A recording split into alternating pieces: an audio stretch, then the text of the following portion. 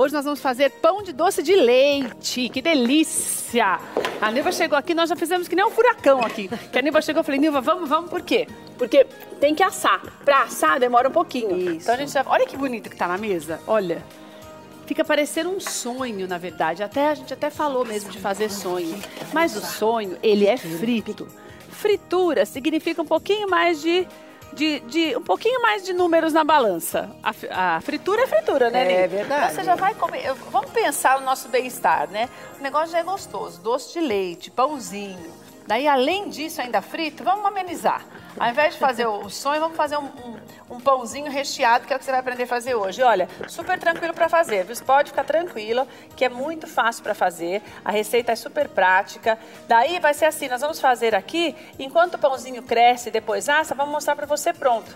Que é assim, 40, 50 minutos no máximo, todo o processo, depois que a gente fizer essa parte aqui. Então você pode fazer na tua casa tranquilo, dá para você fazer pro lanche da tarde, ainda para 5 horas da tarde hoje. Receita muito simples, quer ver? Dá uma olhada. Olha o que você vai precisar. Muito, muito pouca coisa para você fazer. Você precisa de meio copo de óleo. Tá vendo aí na tela, ó, meio copo de óleo. Pode usar a hora da tua preferência. Se você prefere o óleo de canola, de soja, não, não, não faz diferença para a receita. Um copo de água morna. Aqui tem a metadinha só, porque esse copo é um pouquinho... Esse copo tá certo, Nil? É melhor pôr um pouco mais de água? Não, esse copo tá certo, porque como o copo é grande, eu uso aquele americano, Ah, que é o de geralmente. 200, né? É, 200, Tá. 250, pode colocar. Mas esse é muito grande, então eu deixei menos para poder estar mostrando exatamente isso, Tá. tá? Você vai precisar também de uma colher de sobremesa de sal. Pouquinho, hein? Não vai exagerar, porque o é doce. Isso é só para dar compensada na massa. Você vai precisar de uma lata de leite condensado, quatro ovos, 60 gramas do fermento para pão, que é super tranquilo para você encontrar, tem em todo lugar. E uma, qui uma quilo é ótimo. Uma quilo, um quilo de farinha de trigo. tá aqui. O recheio tá ali, o doce de leite. Se você quiser fazer, você cozinha o leite condensado, né, Ney? Isso. Se você não É. quiser, você compra pronto, que hoje às vezes até compensa comprar pronto. Tá- Porque tá- também tem, pode- tem lugares que é mais barato, Tem, né? verdade. Até compensa você comprar pronto pra você fazer hoje, ainda não perder muito tempo. Esse é de Minas, tá? Que eu trouxe. Eu, ó, Ah. eu experimentei, né? Experimentei e tá uma delícia. Eu amo, é amo doce de leite. Vamos lá, meu amor. Vamos, O que que nós- então? como é que nós Olha- Tem uma ordem certa pra bater ou não? Não, sempre a gente coloca os líquidos, né, no liquidificador, tá? Então vamos lá. Colocar o óleo. A água. Legal porque são os ovos inteiros. Eu amo quando a gente aproveita tudo, né? Tão É, bom. tem que aproveitar Olha o que, Olha o tudo. que ela tá fazendo ali, ó. Já É, tá o restinho untar. da, do tantico do óleo aí, ó. Isso. Já tá, já coloca na, na forma, porque vai ter que usar a forma untar, mesmo. tá? Fica sempre aquele restinho e daí já foi pra forma, Já tá vendo? coloquei ali, tá? Ótimo. Agora a água. Tá. Então, vamos lá então. Agora eu coloco os ovos. É muito simples, viu? Tem- ah, eu acho que sempre tem que ter o segredinho de, de chefe é na hora de você preparar a massa, de você bater a massa direitinho, de você abrir a massa.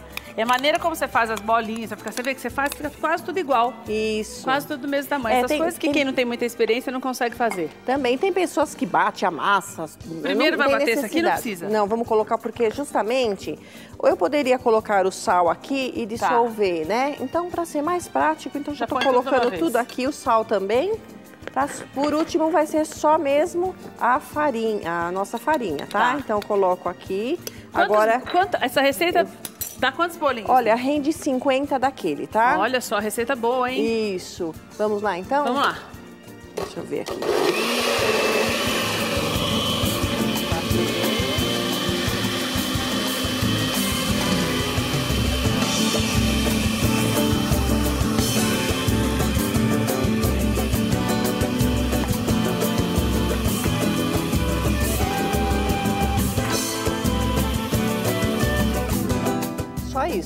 Isso. Já, já, Já, tá- bateu? já bateu, tá? Tá. Agora eu coloco aqui. Aí eu já, para não sujar também a mão, né? Vamos Ah, eu acho. Vamos pra Já catei um- praticidade. já catei Ela um- pegou o pa- o papelzinho pra- e já espalhou o óleo que tinha sobrado da, da mistura do liquidificador e já passou com o papelzinho, que é o que você pode fazer também. Não precisa passar o mãozão pra melecar Agora pega um pouquinho só dessa farinha, ó. Tá? Já untou. Já untei a nossa assadeira, tá? Então, sem segredo. Então tá aqui. Certo. Vou deixar aqui do lado. Agora aqui eu tenho um bol, né? Que é bem mais fácil fazer assim.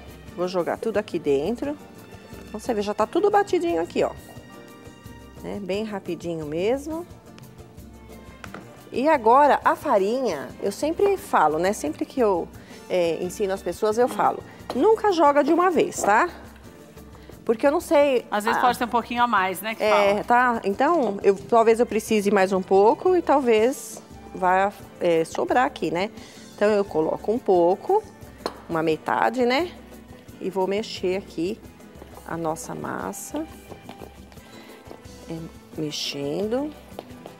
Pra misturar bem. Isso. Essa massa você vai experimentar depois, ela é deliciosa. Muito Você pode até fofinha. rechear com coisa salgada também, né, Ni? Pode com salgado e também geleias, né? Você pode até é, aproveitar épocas de, das frutas, morango, goiaba, fazer uma geleinha e tá é, também colocando, né?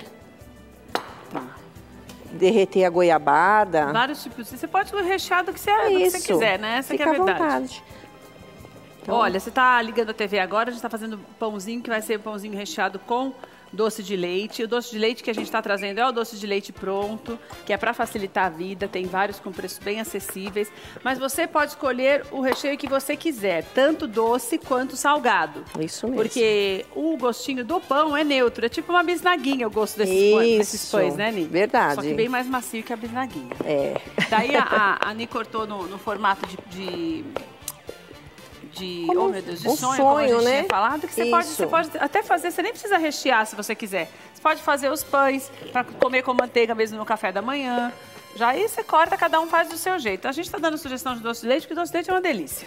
Verdade. Né? Não tem quem não goste, quem gosta de docinho vai gostar de um doce de leite. Pode fazer um pão doce também, tá? Um pão inteiro, né? Pão desse? inteiro, um pão doce, dividir em dois, fazer dois pães doces, né? Aí também Lembrando fica... a você que essa receita que a Nilza está passando, ela tem ela, ela é o suficiente para fazer 50, bo, bo, é, 50 pães do tamanho dos que estão na mesa. Isso. Que já é para você... Que é um tamanho normalzinho mesmo para bolinho mesmo, um tamanho de pãozinho mesmo. Lanchinho, né? Lanche da tarde. É que eu falei, dá tempo pra você fazer para hoje ainda. Então, geralmente as pessoas fazem sonho e já só depois dessa massa já frita. O que acontece no meio fica tudo encruado. Mas essa massa pode ser a massa do sonho mesmo? Pode. Então você pode fritar essa massa Posso depois? fritar. Mas tem que cozinhar primeiro para não ficar cru, né? Isso, eu asso, mas aí eu não deixo naquele ponto tão, tão é, assado. Deixo um pouquinho antes, ah, entendeu? Para poder. Você deixa um pouquinho mal passado. É, porque senão na hora de fritar ele vai ficar muito escuro, né? Mas ele fica muito gorduroso, não? Não fica. Não? Não, não fica não.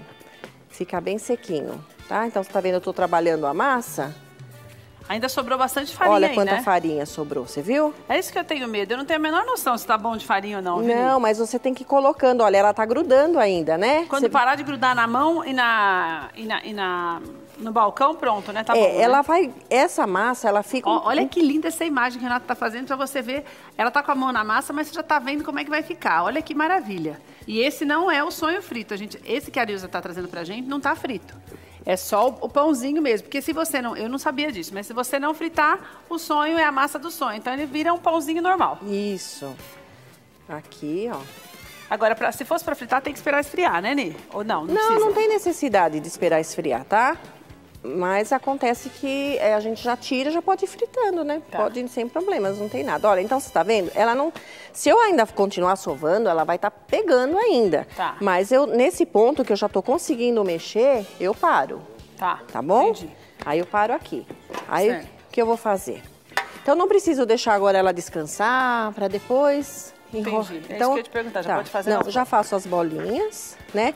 Então o que eu faço? Eu gosto de fazer assim, ó, pôr aqui na bancada, vou colocar um pouquinho de farinha e vou fazer, vou dando uma boleada nela, tá? Tá. Então eu faço assim, ó, vou rodando, ó. Ah. Vou rodando e com esse dedo, ó, tá vendo? Se ela grudar um pouco, não tem problema. Ó, vou fazendo assim, ó. Ah. Então eu estou boleando ela, ó. Aí Que ela vai fica, ficar ó, meio achatadinha. perfeitinha, ó. Tá. Não fica cheia de buraquinho, de... Entendeu? Então vamos fazer mais uma. Aqui. Primeiro eu dou uma enroladinha na mão, que é mais fácil. E depois Todas elas você faz assim, né? todas. Tá. Aí vou fazendo assim, ó. esse processo, tá? Tá. Com o dedo aqui eu dou uma puxada, vou fazendo assim, vou enrolando ela, ó. Tá? Tá. E coloco ali. Tá? Então vou fazer todas as bolinhas assim. Tá. Vou deixar 20 minutos descansando. Aí o que eu coloco? Ou dentro do forno desligado, Pode ir falando e fazendo. é, ou explicando. isso, Então você vai, você vai fazer primeiro todas as bolinhas. Vou Daí fazer você todas. espera a bolinha ficar. Ela vai crescer um pouco? vai crescer. Vai ter que ficar 20 minutos crescendo. Então ela vai crescer um pouquinho. Isso. Daí depois de 20 minutos você pode pôr. 20 minutos coloco para assar. Tá. E aí, é, antes, mas eu não vou deixar ela aqui aberta. Eu vou colocar num lugarzinho, num lugar que esteja, não pegue vento, Tá. tá? Então dentro do E micro-ondas. se eu quiser colocar já direto no forno, não pode?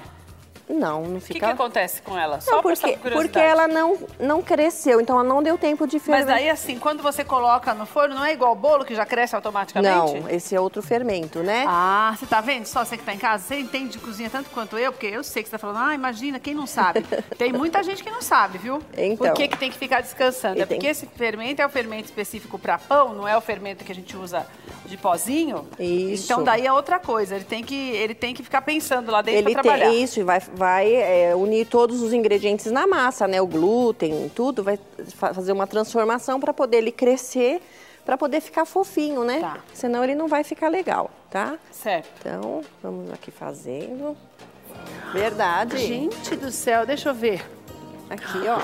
Ai, que delícia! Deixa eu te falar, você vai rechear esse para eu comer o quentinho? Isso. Meu Deus do céu, hein? Vou até sentar. Eu vou até sentar e vou falar o contato da Nilce. Sabe, eu fico muito feliz mesmo. A gente se emociona porque esse mundo tá tão perdido. A gente vê as pessoas se perdendo o tempo inteiro na quebrada, como diz o mano, porque isso é o que tem acontecido e a quebrada virou uma coisa geral.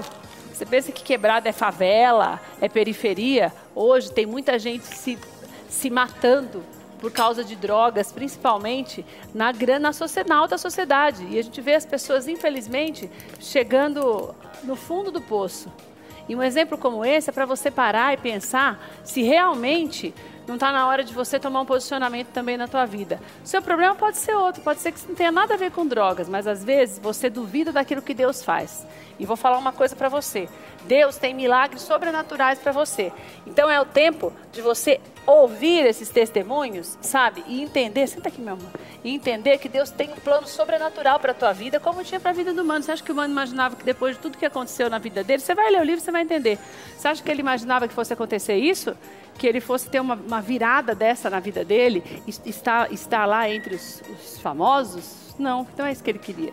Quer que as pessoas sejam salvas. E é isso que você tem que fazer também. Você tem que fazer da sua vida um diferencial nessa terra, para que as pessoas olhem para você e falem assim: Poxa, queria ser como ele. Mas não é querer ser como ele porque é alto, baixo, gordo magro. É simplesmente porque tem a luz do Senhor brilhando. Isso que é o mais importante.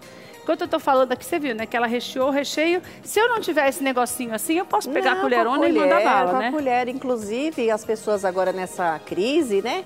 As pessoas podem vender, como uma, uma amiga minha, Érica Talman, Ah. é, quero até mandar um, que você mande um beijo pra Érica ela. Talma, um beijo, querida. Isso, ela, faz tá sonhos. Fazendo, é, não, ela tá E faz fazendo o pães. pão que eu, tô que eu ensinei a ela e tá vendendo, né? Tá? Olha só, vai Isso dando uma mesmo. ajudazinha em casa, né? Ajuda, ajuda mesmo. A Nilza tem, a Nilza tem apostilas, tem várias coisas também para te ajudar a aprender a fazer várias receitas. Daí você pode entrar em contato com ela. O telefone é 99935 99351 9798. Tá aí na tela, 99351 9798. Daí é assim, tem no Face também, nilza.teodoro37. Mas o que eu quero falar para você é que você pode aprender a fazer ou você pode contratar, ligar para a Nilza que ela faz para você. Isso mesmo. Isso é o mais importante. É você tá com preguiça, tem alguém que faça para É você. verdade. Ni, obrigada de você ter vindo hoje. Está Imagina. marcada para segunda-feira. A gente Imagina. adiantou a vinda da Nilza e é uma bênção.